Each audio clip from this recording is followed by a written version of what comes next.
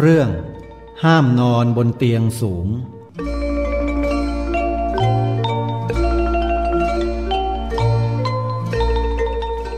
สมัยนั้น พวกภิกษุฉับพักคีนอนบนเตียงสูง คนทั้งหลายเดินเที่ยวชมวิหาร เห็นจึงตำหนิ ประนาม โพลทนาว่า เหมือนคฤหัสถ์ผู้บริโภคกาม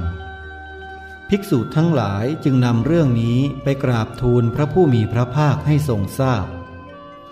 พระผู้มีพระภาครับสั่งว่า ภิกษุทั้งหลาย ภิกษุไม่พึงนอนบนเตียงสูง รูปใดนอนต้องอาบัตทุกกฎ